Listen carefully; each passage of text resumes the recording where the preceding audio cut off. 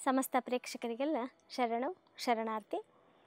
ಅಕ್ಕಮ್ಮನ ಮತ್ತಷ್ಟು ವಚನದೊಂದಿಗೆ, ಅಕ್ಕಮ್ಮನ ವಚನವನ್ನು ಪ್ರವೇಶ ಮಾಡೋಕ್ಕೂ ಮುಂಚೆ ಒಂದು ಸಣ್ಣ ವಿಚಾರವನ್ನು ಹೇಳಿ ಈ ವಚನವನ್ನು ಶುರು ಮಾಡ್ತೇನೆ. ಏನಪ್ಪ ಅಂತ ಹೇಳಿದ್ರೆ, ವಿದ್ಯೆ ಅಂದರೆ ಏನು? ವಿದ್ಯೆ ಅಂದರೆ ಏನು ಅನ್ನೋದನ್ನು ನಾವು ಸಾಕಷ್ಟು ಸಾರಿ ಚರ್ಚೆ ಮಾಡಿದ್ದೀವಿ ವಿದ್ಯೆ ಅಂದರೆ ದುರ್ಗುಣಗಳಿಂದ ಮುಕ್ತವಾಗಿ ಪಡೆದುಕೊಳ್ಳುವ ಶಿಕ್ಷಣವೇ ವಿದ್ಯೆ ಅನ್ನೋದನ್ನು ನಾವು ಮುಂಚೆ ನಾವು ಮಾತಾಡಿದ್ದೀವಿ ಅದರಲ್ಲೂ ಪರಿಪೂರ್ಣ ವಿದ್ಯೆ ಯಾವುದು? ಯಾವುದು ಪರಿಪೂರ್ಣ ವಿದ್ಯೆ ಅಲ್ಲ ಅನ್ನುವಂಥ ಒಂದು ಪ್ರಶ್ನೆ ಬರ, ಯಾವುದು ಪರಿಪೂರ್ಣ ವಿದ್ಯೆ ಅಂತ? ವಿದ್ಯೆಗೆ ಪರಿಪೂರ್ಣತೆ ಅನ್ನೋದು ಬಹುಶಃ ಇಲ್ಲದೆ ಹೋಗ್ಬೋದು. ಹುಡುಕ್ತಾ ಹೋದರೆ ಓದ್ತಾ, ಮುಗಿಯೋದೇ ಇಲ್ಲ ಅದು. ಆದರೂ ವಿದ್ಯೆಯ ಪರಿಪೂರ್ಣತೆಯನ್ನು ಬುದ್ಧ ಒಂದು ಕಡೆ ಹೇಳ್ತಾನೆ. ಬುದ್ಧನ ಜಾತಕ ಕಥೆಗಳಲ್ಲಿ ಒಂದು ಕಥೆಯಲ್ಲಿ ಈ ಸಂದರ್ಭ ಬರುತ್ತೆ. ಏನಪ್ಪ ಅಂತ ಹೇಳಿದ್ರೆ, ಒಬ್ಬ ರಾಜ ಇರ್ತಾನೆ, ಆ ರಾಜ ಒಬ್ಬ ಆಸ್ಥಾನ ಪಂಡಿತನಿಗೆ ಈ ಪ್ರಶ್ನೆಯನ್ನು ಕೇಳ್ತಾನೆ. ಯಾವುದು ಪರಿಪೂರ್ಣ ವಿದ್ಯೆ? ನೀವು ವಿದ್ಯಾವಂತರಲ್ವಾ?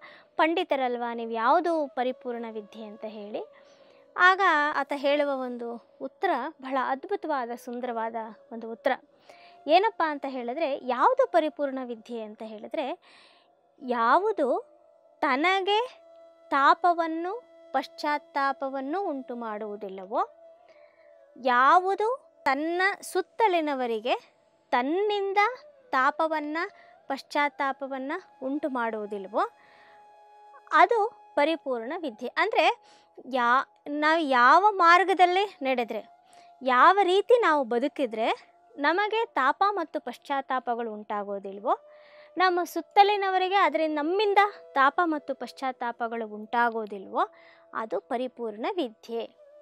ಅಪರಿಪೂರ್ಣ ವಿದ್ಯೆ ಅಂದರೆ ನೀನು ಎಷ್ಟೇ ವಿದ್ಯಾವಂತನಾಗಿರು, ಅಂದರೆ ವಿದ್ಯಾವಂತ ಅಂದರೆ ಮಾರ್ಕ್ಸ್ ಕಾರ್ಡ್ಗಳ ವಿದ್ಯಾವಂತರ, ಶಿಕ್ಷಣವಂತನಾಗಿರು, ಎಷ್ಟೇ ಜ್ಞಾನವನ್ನು ಪಡ್ಕೊಂಡಿರು, ಆ ಎಷ್ಟೊಂದು ಜ್ಞಾನ ನಿನ್ನೊಳಗಿದ್ರು, ಅದರಿಂದ ಸ್ವತಃ ನಿನಗೆ ತಾಪ ಮತ್ತು ಪಶ್ಚಾತ್ತಾಪ ಉಂಟಾಗುವಂತೆ ನಿನ್ನ ನಡವಳಿಕೆ ಇದ್ದರೆ.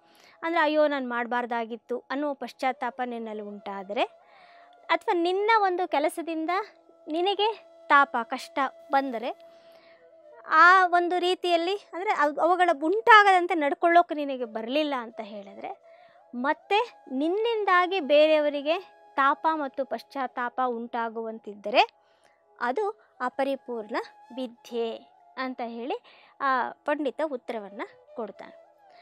ಆ ಉತ್ತರವನ್ನು ಕೊಟ್ಟು ಮತ್ತೆ ಮುಂದುವರೆದು ಹೇಳ್ತಾನೆ. ಹಾಗಾದರೆ ಅಪರಿಪೂರ್ಣ ವಿದ್ಯೆಯ ದೋಷಗಳು ಯಾವ್ಯಾವುದು? ಅಂದರೆ ಏನೇನು ಇದ್ದರೆ ಅದು ಅಪರಿಪೂರ್ಣ ವಿದ್ಯೆ ಅಂತ ಅನ್ನಿಸ್ಕೊಳ್ಳುತ್ತೆ. ಯಾವುದು ಇಲ್ಲ ಅಂದರೆ ಅದು ಪರಿಪೂರ್ಣ ವಿದ್ಯೆ ಅಂತ ಅನ್ನಿಸ್ಕೊಳ್ಳುತ್ತೆ ಅಂತ ಹೇಳಿ ಮತ್ತೆ ರಾಜ ಪ್ರಶ್ನೆಯನ್ನು ಮಾಡಿದಾಗ ಪಂಡಿತ ಸುಮಾರು ಒಂದು ಹತ್ತು ಅಂಶಗಳನ್ನು ಆತಪಟ್ಟು ಈ ಥರದ ಗುಣಗಳು ಇದ್ದರೆ ಅದು ಅಪರಿಪೂರ್ಣ ವಿದ್ಯೆ. ಇದು ಇಲ್ಲ ಅಂದರೆ ಅದು ಪರಿಪೂರ್ಣ ವಿದ್ಯೆ ಅಂತ ಆತ ಹೇಳ್ತಾ ಹೋಗ್ತಾನೆ ಒಟ್ಟು. ಅವುಗಳಲ್ಲಿ ಮೊದಲನೇದಾಗಿ ಹೇಳುವ ಅಂಶ ಏನಪ್ಪ ಅಂತ ಹೇಳಿದ್ರೆ, ನಿನ್ನಲ್ಲಿ ಕರ್ತವ್ಯ ಲೋಪ ಇದ್ದರೆ ಕಾಯಕ ನಿಷ್ಠೆ ಇಲ್ಲದೆ ಹೋದರೆ ಅದು ಅಪರಿಪೂರ್ಣ ವಿದ್ಯೆ. ನೀನು ಎಷ್ಟೇ ಜ್ಞಾನವನ್ನು ಸಂಪಾದಿಸ್ಕೊಂಡಿರು, ಎಷ್ಟೇ ಶಿಕ್ಷಣವಂತನಾಗಿರು, ನಿನ್ನಲ್ಲಿ ಕರ್ತವ್ಯ ಲೋಪ ಅನ್ನೋದೊಂದಿದ್ದರೆ ನಿನ್ನ ಕಾಯಕದಲ್ಲಿ ನೀನು ನಿಷ್ಠೆ ಇಲ್ಲವನ್ನು ಹೊಂದದೇ ಇದ್ದರೆ ಅದು ನಿನಗೆ ತಾಪ ಮತ್ತು ಪಶ್ಚಾತ್ತಾಪಗಳನ್ನು ಉಂಟು ಮಾಡುತ್ತೆ ಮತ್ತು ಆ ಗುಣ ನಿನ್ನ ಸುತ್ತಲಿರುವವರಿಗೆ, ನಿನ್ನ ಪ್ರಭಾವಕ್ಕೆ, ನಿನ್ನ ಸಂಬಂಧಕ್ಕೆ ಬರುವವರೆಗೂ ಕೂಡ ತಾಪ ಮತ್ತು ಪಶ್ಚಾತ್ತಾಪವನ್ನು ಉಂಟು ಮಾಡುತ್ತೆ ಹಾಗಾಗಿ ಅದು ಅಪರಿಪೂರ್ಣ ವಿದ್ಯೆಯ ಮೊದಲ ಲಕ್ಷಣ ಅಂತ ಹೇಳಿ ಆತ ಉತ್ತರವನ್ನು ಕೊಡ್ತಾನೆ. ಯಾಕೆ ನಾನು ಈ ಮಾತನ್ನು ಹೇಳಿದೆ ಅಂತ ಹೇಳಿದ್ರೆ, ಕರ್ತವ್ಯ ಲೋಪ ನಮ್ಮ ಕರ್ತವ್ಯದಿಂದ ತಪ್ಪಿಸಿಕೊಳ್ಳೋದು ಮತ್ತು ನಾವು ಕಾಯಕ ನಿಷ್ಠೆಯನ್ನು ಕಳೆದುಕೊಳ್ಳೋದಿದೆಯಲ್ಲ, ಅದು ನೀವು ಏನೆಲ್ಲ ಸಂಪಾದಿಸಿದರೂ ಆ ಎರಡು ಗುಣಗಳು ನಿಮ್ಮನ್ನು ಪರಿಪೂರ್ಣರು ಮತ್ತು ಅಪರಿಪೂರ್ಣರು ಅಂತ ಹೇಳಿ ನಿರ್ಧರಿಸಿಬಿಡತ್ತೆ.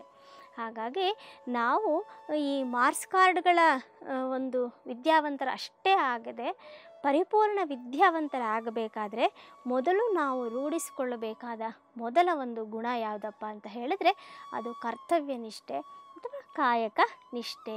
ಇದನ್ನು ನಾವು ರೂಢಿಸಿಕೊಂಡ್ರೆ ನಾವು ಆಗ ಪರಿಪೂರ್ಣ ವಿದ್ಯಾವಂತರಾಗುವ ಮಾರ್ಗದ ಮೊದಲ ಮೆಟ್ಟಿಲನ್ನು ಹತ್ತಿದಂತೆ ಅಂತ ಹೇಳಿ ಉತ್ತರವನ್ನು ಕೊಡ್ತಾರೆ.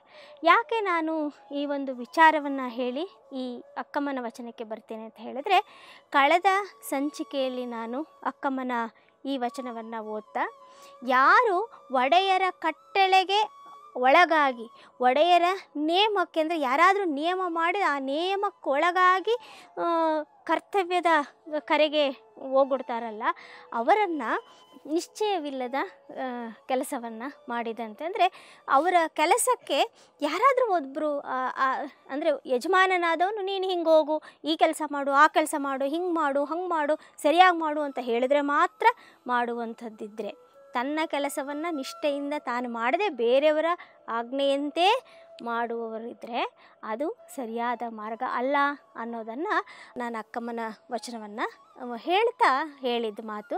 ಅದೇ ವಚನವನ್ನು ಮತ್ತೊಮ್ಮೆ ಹೇಳಿ ವಚನವನ್ನು ಮುಂದುವರಿಸ್ತೇನೆ ನೋಡಿ.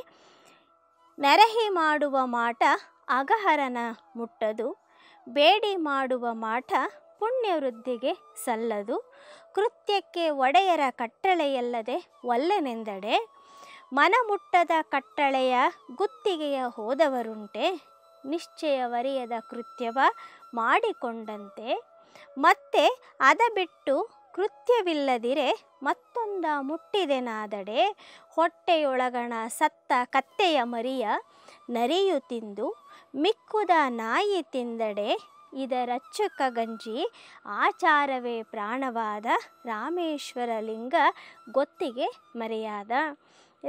ಅರೆ ನೆರಹಿ ಮಾಡುವ, ಸಂಪತ್ತನ್ನು ಸಂಗ್ರಹಿಸಿ ಮಾಡುವ ಮಾಟ ರೀತಿ ಶಿವನನ್ನು ಮೆಚ್ಚಿಸೋದಿಲ್ಲ ಅಂದರೆ ಶಿವನಿಗೆ ಮುಟ್ಟೋದಿಲ್ಲ. ಬೇಡಿ ಮಾಡುವ ಮಾಟ ಕೂಡ ನಿನ್ನ ಪುಣ್ಯವೃದ್ಧಿಯನ್ನು ಮಾಡೋದಿಲ್ಲ. ಹಾಗೆ ಕೃತ್ಯಕ್ಕೆ ಒಡೆಯರ ಕಟ್ಟಳೆ ಅವರಿಲ್ಲ, ಅವ್ರು ಹೇಳಿಲ್ಲ ಅಂದರೆ ನಾನು ಮಾಡಲ್ಲ. ಇದು ನನ್ನ ಕೆಲಸ, ಅವ್ರು ಯಾರು ಹೇಳಲಿ ಬಿಡಲಿ ಮಾಡಬೇಕು ಅನ್ನೋದಿರಬೇಕೇ ಹೊರತು ಅವ್ರು ಹೇಳಿಲ್ಲ, ನಾನು ಮಾಡಲ್ಲ ಅನ್ನುವಂಥ ಗುಣ ಇದ್ದರೆ ಕಟ್ಟಳೆಗೆ ಒಳಗಾಗಿ ಅಂದರೆ ಕಟ್ ಕಟ್ ಮನಮುಟ್ಟದ ಕಟ್ಟಳೆಯ, ಮನಸ್ಸಿಗೆ ಒಪ್ಪದ ನಿಯಮಗಳನ್ನು ಹೇಳಿದಾಗ ಅದರ ಗುತ್ತಿಗೆಗೆ ಅದಕ್ಕೆ ಒಳಗಾಗಿ ನಡೆದುಕೊಳ್ಳುವಂಥವರು ಕೊಡಬೇಕಾಗತ್ತೆ ಅಂಥವ್ರು ಉಂಟೆ.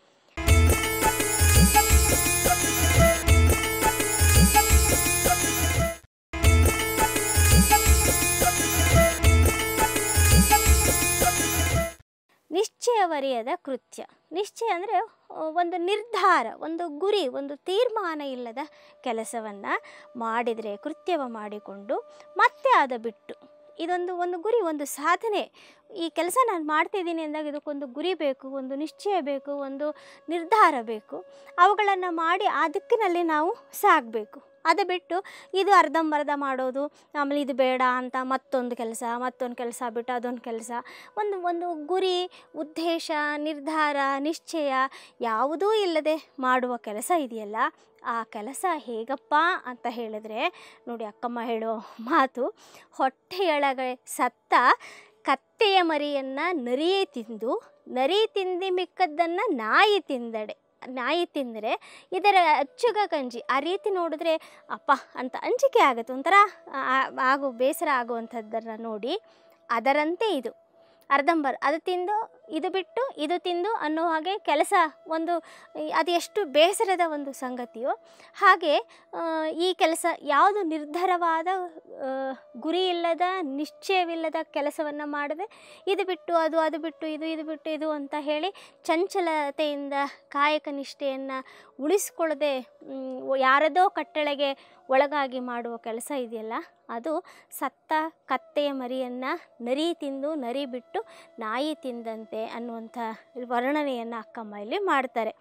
ಇಂಥವರನ್ನು ಕಂಡ್ರೆ ಇದನ್ನು ನೋಡಿದರೆ ರಾಮೇಶ್ವರಲಿಂಗ, ಆಚಾರವೇ ಪ್ರಾಣವಾದ ರಾಮೇಶ್ವರಲಿಂಗ ಗೊತ್ತಿಗೆ ಮರೆಯಾದ. ಗೊತ್ತಿ ಅಂತ ಹೇಳಿದ್ರೆ ಈಗ ಈಗ ಕಾರ್ಯಗೊತ್ತಿ ಅಂದರೆ ಕಾರೆ ಮೆಳೆ ಮೆಳೆ ಅಂದರೆ ಒಂದು ಆ, ಗುಂಪು ಗಿಡಗಳ ಗಿಡದ ಒಂದು ಪೊದೆ ಅಂತ ಇರುತ್ತಲ್ಲ ಅದಕ್ಕೆ ಗೊತ್ತಿ. ಆ ಗೊತ್ತಿಗೆ ಮರ್ಯಾದ ಆ ಮೆಳೆಗೆ ಮರ್ಯಾದ ಅದ್ರ ಹಿಂದದಕ್ಕೆ ಮರೆಯಾಗ್ತಾನೆ ಅದನ್ನು. ಅಂಥವರನ್ನು ನೋಡದೆ ಅಂಥವರನ್ನು ನೋಡೋಕ್ಕೂ ಪರಮಾತ್ಮ ಬಯಸೋದಿಲ್ಲ ಅನ್ನೋದನ್ನು ಅಕ್ಕಮ್ಮ ಈ ವಚನದಲ್ಲಿ ಹೇಳ್ತಾರೆ. ಮತ್ತೆ ಮುಂದುವರೆದು ಮತ್ತೊಂದು ವಚನದಲ್ಲಿ ಅಕ್ಕಮ್ಮ ಹೇಳೋದೇನಪ್ಪ ಅಂತ ಹೇಳಿದರೆ ನೇಮವ ಮಾಡಿಕೊಂಡು ತನ್ನಯ ಸಂಸಾರದ ಕಾಮ್ಯಾರ್ಥಕ್ಕಾಗಿ ಐದು, ಹತ್ತು, ಹದಿನೈದೆಂದು ಮೀರಿ ಬಂದೆಡೆ ಕೃತ್ಯವಿಲ್ಲ ಎಂದು ಅವರಿಗಿಕ್ಕಿಹವೆಂದು ಭಕ್ತರ ಮನೆಯಲ್ಲಿ ಹೊಕ್ಕು ಹೊಕ್ಕು ಬೇಡುವುದು ಭಕ್ತನ ಯುಕ್ತಿಯೇ. ಆರೊಡವೆಯ ಆರಿಗೆ ಬೇಡಿ ಮಾಡಿ ತಾನು ದಾರಿಯಾದನೆಂಬ ಭೋಗಿಯ ನೋಡ ವೇಷಿಯ ಪುತ್ರ ಪೈತೃಕವ ಮಾಡಿದಲ್ಲಿ ಅದೇ ಥರ ಊಟ, ಅದೇ ಥರ ಮಾಟ, ಆಚಾರವೇ ಪ್ರಾಣವಾದ ರಾಮೇಶ್ವರ ಲಿಂಗಕ್ಕೆ ಸಲ್ಲದ ನೇಮ.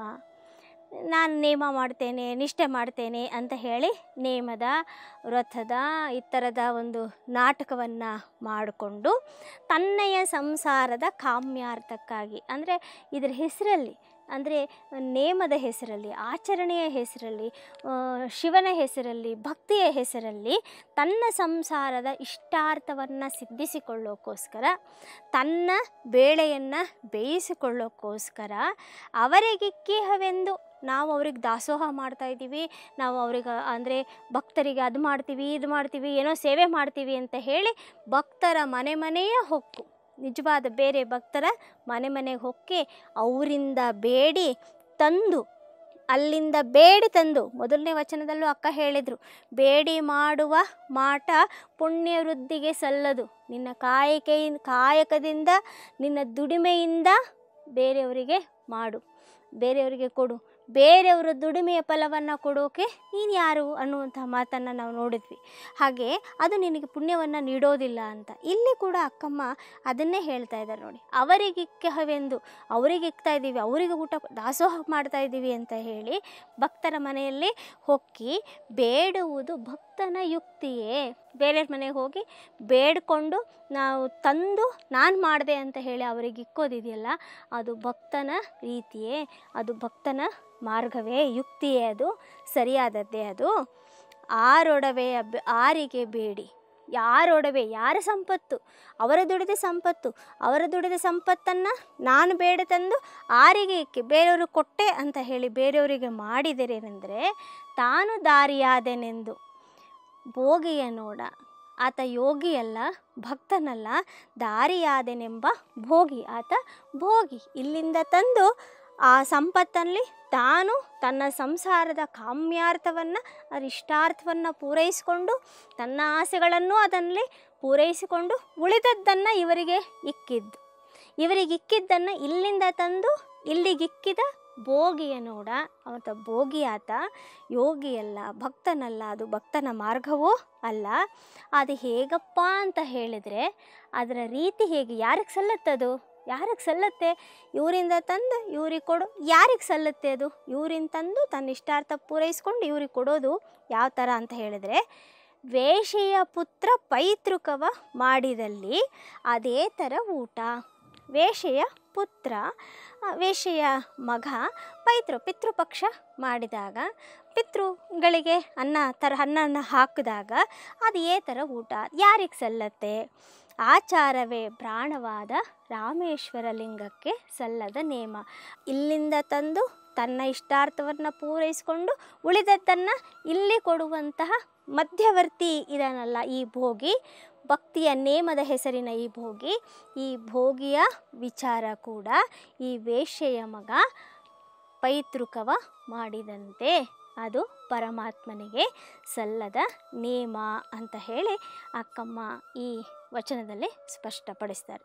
ಇದಾದ ಮೇಲೆ ಮತ್ತೊಂದು ವಚನದಲ್ಲಿ ಬದುಕನ್ನು ಕುರಿತು, ಬದುಕಲ್ಲಿ ಹೇಗೆ ನಾವು ಒಂದು ಬದುಕನ್ನು ನಡೆಸ್ಕೊಂಡು ಹೋಗಬೇಕು ಅನ್ನುವಂಥ ಮಾತನ್ನು ಈ ವಚನದಲ್ಲಿ ಅಕ್ಕಮ್ಮ ಹೇಳ್ತಾರೆ.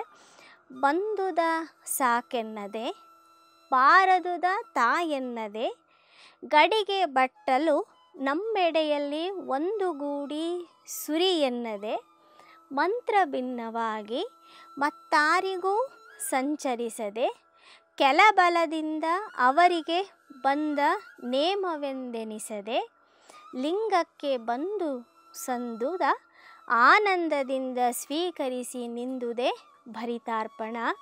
ಆಚಾರವೇ ಪ್ರಾಣವಾದ ರಾಮೇಶ್ವರ ಲಿಂಗದಲ್ಲಿ ತನ್ನ ಪಾಲಿಗೆ ತಾನು ಬಂದದ್ದನ್ನು ಸ್ವೀಕರಿಸಿ ಬದುಕೋದೆ ಭರಿತಾರ್ಪಣ ಅನ್ನೋದನ್ನು ಅಕ್ಕಮ್ಮ ಈ ವಚನದಲ್ಲಿ ಹೇಳ್ತಾರೆ. ಈ ವಚನದ ವಿವರಣೆಗೆ ಬರುವ ಮುಂಚೆ ಒಂದು ಪ್ರಶ್ನೆ ಏನಪ್ಪ ಅಂತ ಹೇಳಿದ್ರೆ, ಬದುಕನ್ನು ಬಂದಂತೆ ಸ್ವೀಕರಿಸ್ಕೊಂಡು ಹೋಗಬೇಕಾ ಅಂತ ಹೇಳಿ. ಬದುಕನ್ನು ಬಂದಂತೆ ನಾವು ಸ್ವೀಕರಿಸ್ಕೊಂಡು ಹೋಗಬೇಕಾ? ಅಥವಾ ಬದುಕನ್ನು ನಾವು ಅಂದುಕೊಂಡಂತೆ ಕಟ್ಟಿಕೊಳ್ಬೇಕಾ ಅನ್ನುವಂಥ ಪ್ರಶ್ನೆ. ಬದುಕನ್ನು ಹಾಗೇನಾದ್ರು ನಾವು ನಮ್ಮ ಮಕ್ಕಳಿಗೆ ಅಥವಾ ನಮ್ಮ ಜನ ಹೇಳಿಬಿಟ್ರೆ, ಅಯ್ಯೋ, ಬದುಕು ಬಂದಂತೆ ಸ್ವೀಕರಿಸ್ಕೊಂಡು ಹೋಗಬೇಕು ಅಂತ ಹೇಳಿದರೆ ಅಲ್ಲಿ ಏನಾಗ್ಬಿಡುತ್ತೆ? ಅಯ್ಯೋ, ಬದುಕು ಬಂದಂತೆ. ನಡೆಯುತ್ತಪ್ಪ. ಹೆಂಗೋ ಆಗುತ್ತೆ. ಹೆಂಗೋ ನಡೆಯುತ್ತೆ ಅನ್ನುವಂಥ ಮಾತು. ಡಿ ವಿ ಜಿಯವರ ಒಂದು ಕಗ್ಗ ಇದೆಯಲ್ಲ? ಬದುಕು ಜಟಕ ಬಂಡಿ ವಿಧಿ ಅದರ ಸಾಹೇಬ ಮದುವೆಗೋ ಮಸಣಕ್ಕೋ ನಡೆದತ್ತ. ನಡೆ ನೀ ಪಯಣಿಗ, ಕುದುರೆ ನೀ ಪಯಣಿಗ ಪದ ಕುಸಿಯಲ್ ನೆಲವಿಹುದು ಮಂಕುತಿಮ್ಮ ಅನ್ನುವಂಥ ಒಂದು ಕಗ್ಗದಲ್ಲಿ ಅವ್ರು ಹೇಳೋ ನೀ ವಿಧಿ, ಅದರ ಸಾಹೇಬ ವಿಧಿ ನಿನ್ನನ್ನು ನಡೆಸ್ಕೊಂಡು ಹೋಗ್ತಾನೆ. ನೀನು ನಡೆದ ಕಡೆ ನಡಿ, ಭಯ ಪಡಬೇಡ. ನಿನ್ನ ಪದ ಕುಸಿಯಲು ನೆಲವಿಹುದು. ನಿನ್ನ ಕಾಲು ಕುಸಿದು ಹೋದರೆ ನಿನ್ನನ್ನು ಆತ್ಕೊಳ್ಳೋಕೆ ನೆಲ ಇದೆ ಅಂತ ಡಿ ವಿ ಜಿಯವರು ಹೇಳೋ ಮಾತಲ್ಲಿ ಒಂದು ವಿಧಿವಾದ ಇದೆ. ವಿಧಿ ನಡೆಸ್ಕೊಂಡು ಹೋಗುತ್ತೆ ಅನ್ನೋದರ ಜೊತೆಗೆ ಆತ್ಮವಿಶ್ವಾಸವನ್ನು ಕಳ್ಕೊಳ್ಬೇಡ ಅನ್ನುವ ಸಂದೇಶ ಕೂಡ ಅದರಲ್ಲಿ ಇದೆ. ನಾವು ಬದುಕು ಬಂದಂತೆ ಸ್ವೀಕರಿಸಬೇಕು ಅಂತ ಹೇಳಿದಾಗ ವಿಧಿ ನಡೆಸ್ಕೊಂಡು ಹೋಗುತ್ತೆ. ಬದುಕು ಹೆಂಗಂದರೆ ಹಂಗೆ ಬರುತ್ತೆ. ನಾವ್ಯಾಕೆ ಮಾಡಬೇಕು? ನಾವೇನು ಪ್ರಯತ್ನ ಪಡಬೇಕು? ಅನ್ನುವಂಥ ಅರ್ಥವನ್ನು ಅದು ಪಡ್ಕೊಂಡ್ಬಿಟ್ರೆ ಇಷ್ಟೊಂದು ಅಪಾಯಕಾರಿ ಅಲ್ವಾ? ಹಾಗಾಗಿ ಈ ವಿಧಿ ಅನ್ನೋದು ಆನಂತರದ ಪ್ರಶ್ನೆ. ಬದುಕು ಅನ್ನೋದು ನಮ್ಮ ಮುಂದಿರುವ ದೊಡ್ಡ ಒಂದು ದಾರಿ. ಅದನ್ನು ನಮಗೆ ಬೇಕಾದಂತೆ ನಮ್ಮ ಇಷ್ಟ ಬಂದಂತೆ ರೂಪಿಸ್ಕೊಳ್ಬೇಕು. ಬದುಕು ಬಂದಂತೆ ಅಲ್ಲ, ನನಗೆ ಬೇಕಾದಂತೆಯೇ ನಾನು ಬದುಕನ್ನು ರೂಪಿಸಿಕೊಳ್ಳುವ ಪ್ರಯತ್ನ ಪಡಬೇಕು. ಆ ನಿಟ್ಟಲ್ಲಿ ನನ್ನ ದಾರಿ ಸಾಗಬೇಕು ಅಂತ ಅನ್ನೋದು ನನ್ನ ಅಭಿಪ್ರಾಯ. ಹಾಗೆ ಸಾಗುವಾಗ ಬದುಕು ಬಂದಂತೆ ರೂಪಿಸಿಕೊಳ್ಳೋದಲ್ಲ ನಮ್ಮ ಇಷ್ಟದಂತೆ ರೂಪಿಸಿಕೊಳ್ಳಬೇಕಾದ ಹೋರಾಟದಲ್ಲಿ ಎಷ್ಟೋ ಸಾರಿ ಸೋಲುಗಳು, ಎಡರು ತೊಡರುಗಳು ನಮ್ಮ ಪಾಲಿಗೆ ಬರುತ್ತೆ. ಆ ಸಂದರ್ಭದಲ್ಲಿ ಆ ಸೋಲಿಗೆ ಕುಗ್ಗದೆ ಪದ ಕುಸಿಯಲ್ಲಿ ನೆಲವಿಹುದು. ಸೋತ್ರ ಒಮ್ಮೆ ಸೋಲು, ಒಮ್ಮೆ ಎಡರು ತೊಡರು. ಆದರೆ ನಿರಂತರವಾದ ಸೋಲು ಯಾರ ಪಾಲಿಗೂ ಇರಲ್ಲ. ಆ ಸೋಲಿನ ಪಾಠವನ್ನು ನಾವು ಪಡೆದುಕೊಂಡು ಮತ್ತೆ ಮತ್ತೆ ಮತ್ತೆ ಮತ್ತೆ ನಾವು ಪ್ರಯತ್ನಶೀಲರಾಗಬೇಕು. ಗೆಲ್ಲುವ ಕಡೆಗೆ ನಮ್ಮಿಷ್ಟದ ಬದುಕನ್ನು ರೂಪಿಸಿಕೊಳ್ಳುವ ಕಡೆಗೆ ಹೋರಾಟವನ್ನು ನಡೆಸಬೇಕು, ಮುನ್ನಡೆಯಬೇಕೆ ಹೊರತು ಗೋಳಾಡಬಾರದು.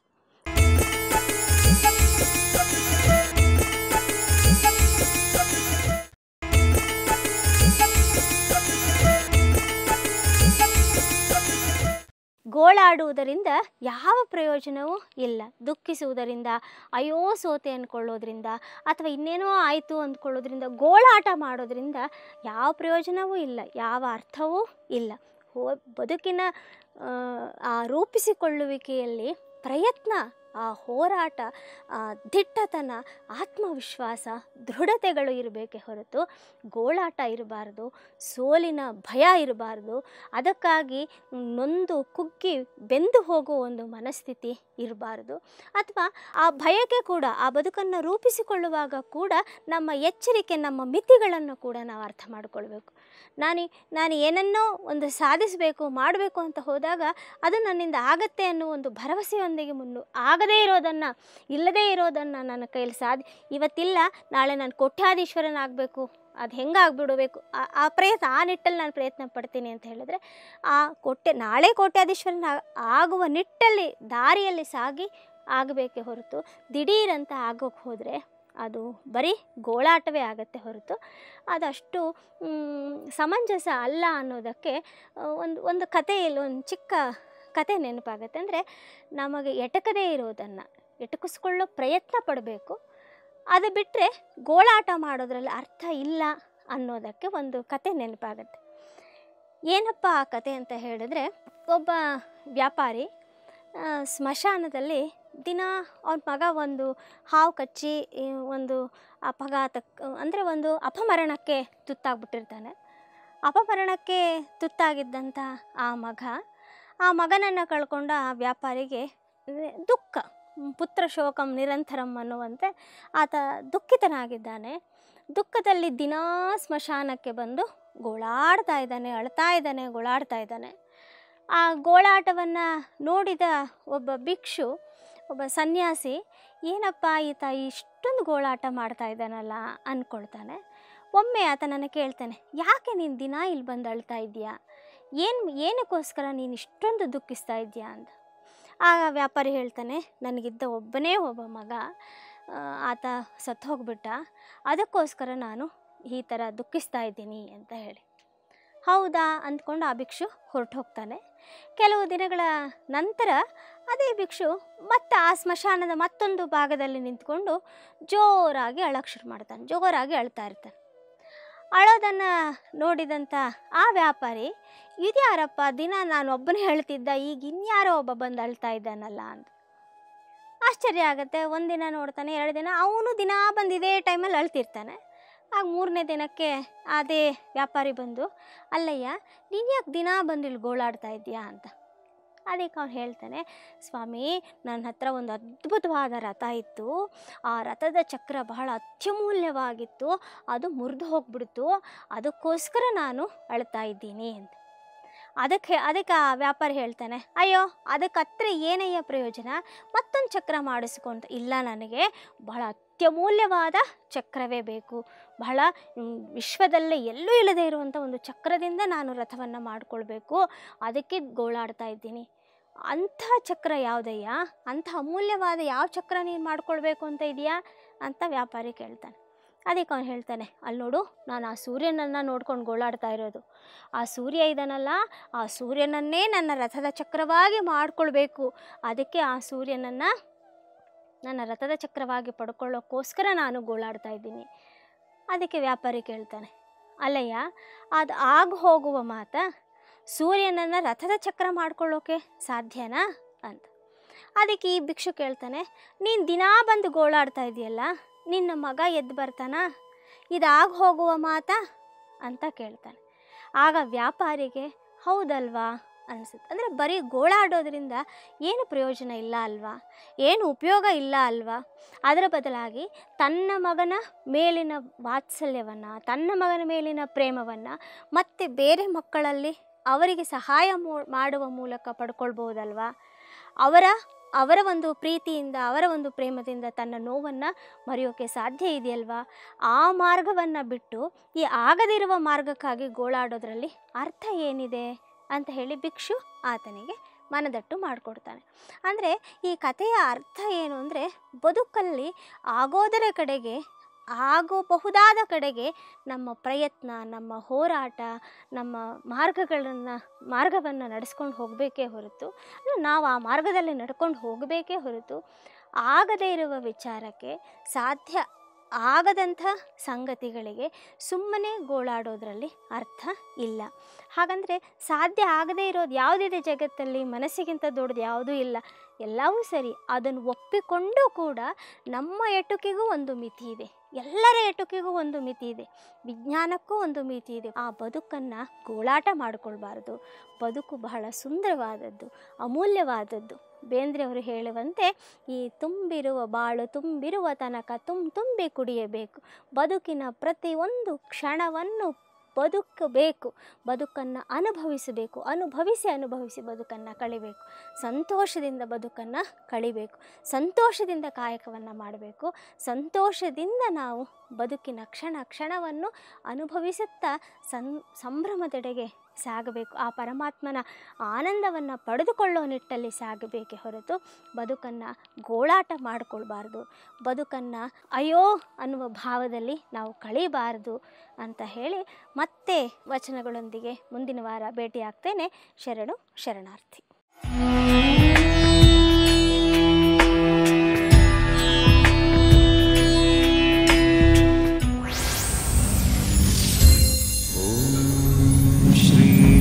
basabalu